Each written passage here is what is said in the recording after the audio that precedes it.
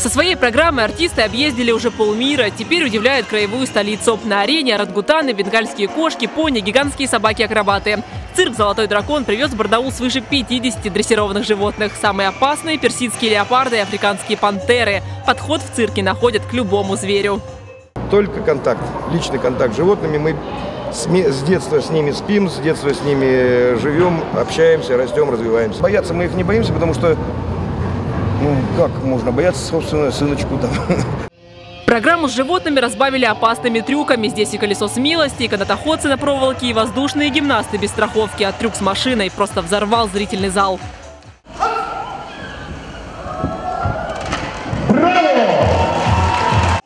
«Золотой дракон» – многонациональный цирк. В составе заслуженные артисты России, Киргизии, Польши, Москвы, профессионалы и фанаты своего дела, которым в очередной раз аплодируют стоя.